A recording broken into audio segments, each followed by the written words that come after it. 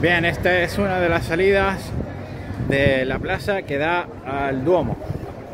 Lo voy a enseñar. Va, mucho turista hoy. Y aquí tenéis el Duomo. Espectacular en todos los sentidos. Oh, gracias mille.